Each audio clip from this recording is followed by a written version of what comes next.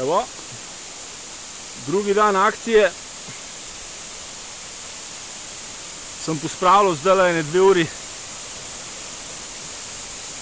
Uh, nisem čisto vse, ker sem zmatran. Uh, je pa kar velik narejenega. Tole bom še drugič manj pospravil. Enkrat. Tamle bomo pa motorko vzel, pa bom požagal. あね。行こう。